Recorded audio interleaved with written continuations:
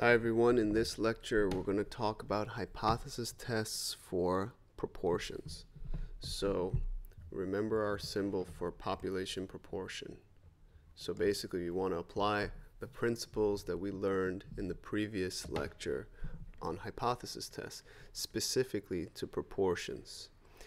If you're following along in the text, it's section 10.3, but if you're using any other textbook, just look for single sample hypothesis tests for proportion and adjust accordingly.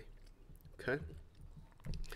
So, we spent a good deal of time discussing the concept of hypothesis tests, how they're used, the null hypothesis, the alternative hypothesis. We defined some important terms like test statistics and p-values, and we also talked about the decisions that are possible when doing a hypothesis test, rejecting the null, failing to reject the null, etc. Okay, so now we're going to actually apply this to a single sample hypothesis test specifically for proportion. So what you need to consider here is that we can only apply this type of test to what we're going to call large samples. So I'm going to put that in quotes because that's going to mean different things in different types of hypothesis tests. It's not the most technically correct terminology to use. We should use asymptotic hypothesis tests for proportion. But here, what I mean specifically boils down to this first bullet. That is, we need this condition to be satisfied and this condition to be satisfied before we do any of the hypothesis testing that we're going to do in this lecture. Okay? So, what is this condition? Let's pay attention to this and check this every time. So we want to check that the sample size times the proportion under the null hypothesis, I've defined P, P naught here, is greater than or equal to 10, and the proportion, sorry, the sample size times 1 minus the proportion under the null hypothesis is greater than or equal to 10. So if both of these check out, we've satisfied this large sam sample or asymptotic condition, okay?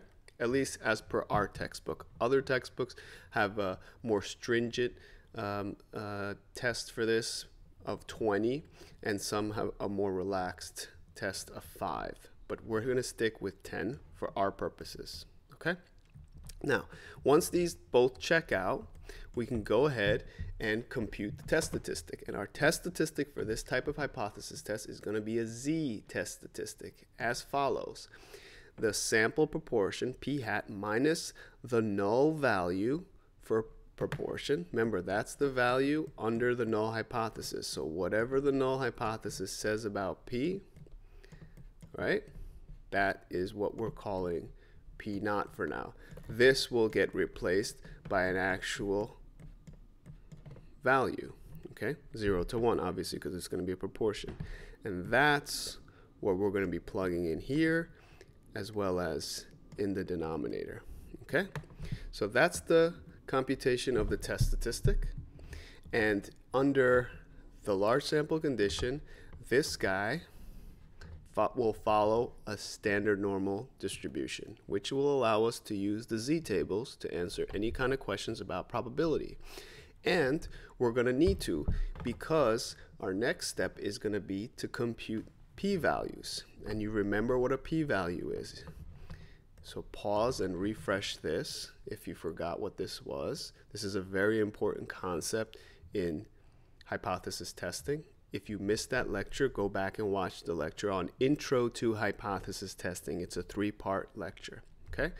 Coming back here, we're going to actually compute a p-value and then compare that p-value to a level of significance if it's less than or equal to the level of significance, we know our decision will be to reject the null. If it's greater than the level of significance, we'll fail to reject.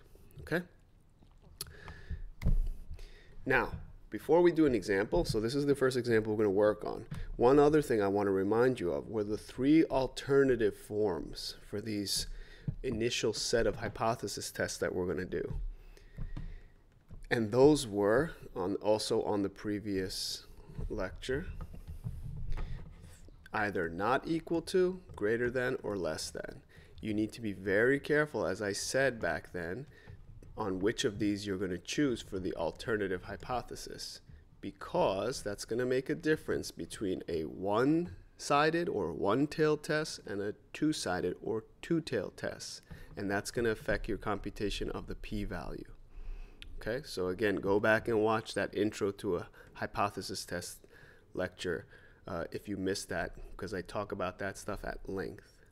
Okay, now coming back to our rule, okay, it was simply an application of the p-value to make our final decision. Let's look at an example. Let's look through this, and what I want to formulate with you is simply the null and the alternative, and then I have the answer written out, worked out on the next slide, which you can pause and look at as you work on it yourself first. Okay, so nationwide, 58% of high school graduates go on to attend college. We sample 1,500 of these uh, not these, but sorry, of California high school graduates and determined that 55% were going to go to college. Okay? Is the college attendance proportion in California different? Very important term from the national.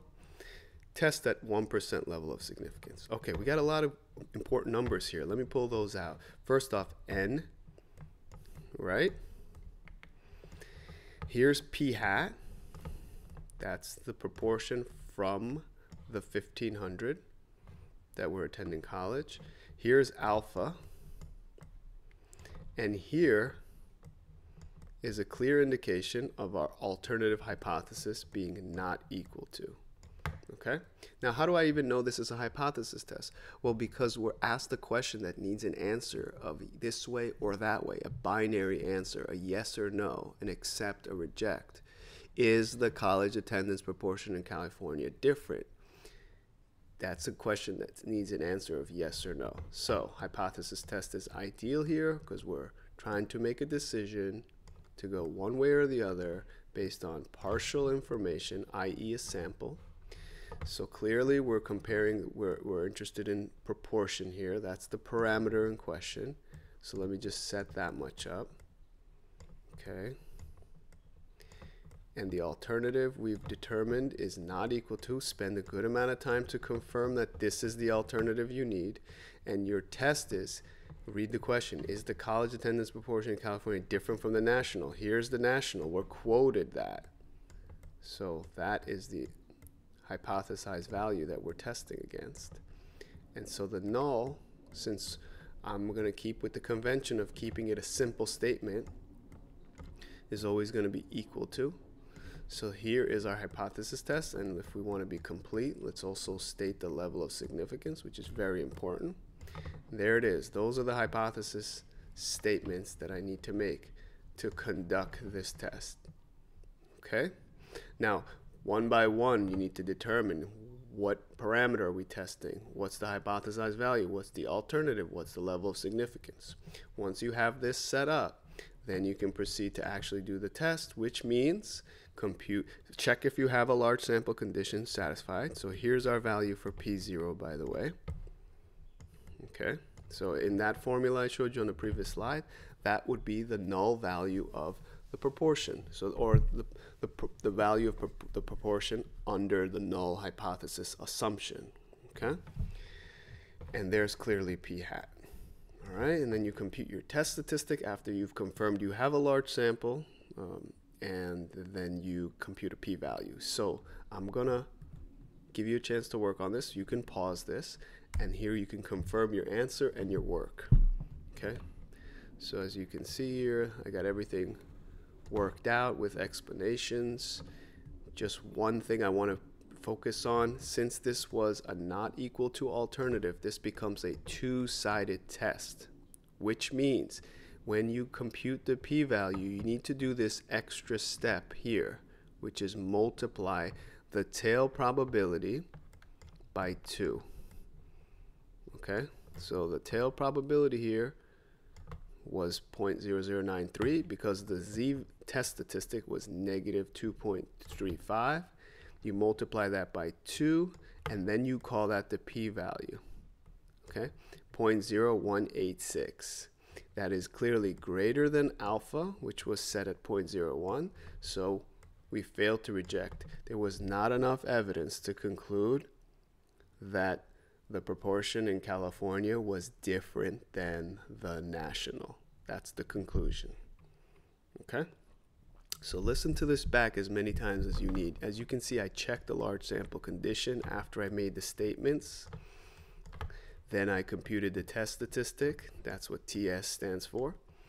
Then I took the test statistic and I got the tail probability under the Z distribution, right, which is the appropriate distribution for, for reasons we discussed on the previous slide. But then before I called this the p-value, I needed to multiply this by 2 because it's a two-sided test because of this alternative. Now, if this alternative was one of these, then this would be a one-sided test, and you would not do this step. Everything else would be identical, but you would not multiply it by 2. This would be your p-value, and then you would compare that to alpha. Now let's go on to another example. So take a second, pause, try this. Okay, I'm assuming you gave this a shot.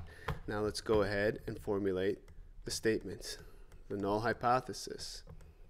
Well, it seems again we're talking about the proportion here, even though the word doesn't come up, I think. We're talking about uh, the, the fraction or, or proportion of people in a, in a county uh, reduce their water consumption.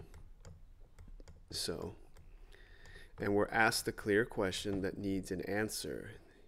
Is there fewer than half, or did fewer than half households reduce their water consumption? So fewer than half means my alternative is going to be less than 0.5 or one half. Okay? And we keep the null a simple statement. So my convention. If you're using a text that uh, doesn't mind, um, this would also greater than or equal to would also suffice in the null. Okay, it's uh, the same type of test. Again, we're testing at 1% level of significance. We have our p hat here. We have n, and fewer than half tells me this that's the test, right? And fewer than half, right? So I have a one-sided test, okay? Then take your time and get this right. Once you get this right, you go through the motions, okay, which I've outlined here clearly. You test the large sample condition. They both check out. You compute the test statistic, negative 2.68. Notice here I get the tail probability uh, from the z distribution, p-value is always going to be a tail probability. Okay, the question you need to ask is, do I need to multiply this by 2 or not?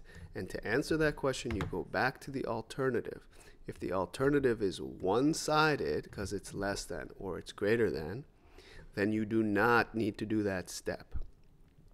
Okay, so notice I take this value as my p-value. I compare that to alpha. It's less than alpha, so I reject the null hypothesis. There is significant evidence that fewer than half households uh, reduced water consumption, if you want to put a statement to it. Okay? All right, so this was single sample hypothesis tests for the proportion. I hope this was helpful, and this is building on our hypothesis testing unit. I'm going to continue making more of these um, for different applications. Okay, have a great day.